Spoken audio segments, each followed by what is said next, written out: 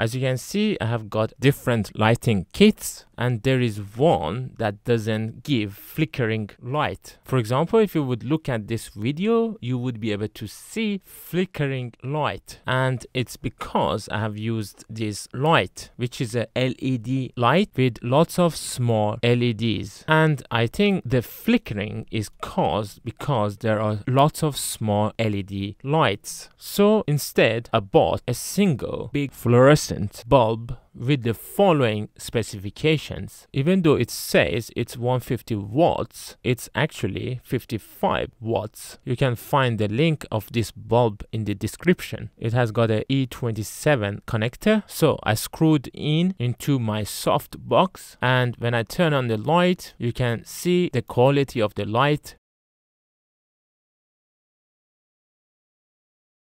This is my old bulb which has a 80 watts now I put the diffuser on the 150 watts bulb. You can see its lights quality. And now if I would turn on the camera towards the 80 watts, you can compare the 80 watts with 150 watts. And then I put the old soft box next to the new soft box. And accidentally I realized that the new bulb which says it has got a higher power is actually dimmer than my old bulb which has got 80 watts. So I guess the 80 watts is its actual power rather than equivalent wattage. And if you look carefully, you can see there is some flickering from the new bulb, but there is no flickering from the old bulb. And actually the newer bulb is physically smaller than my older bulb. I searched a lot online to find a higher wattage bulb similar to my old 85 watts bulb, but I couldn't find any. Instead of equivalent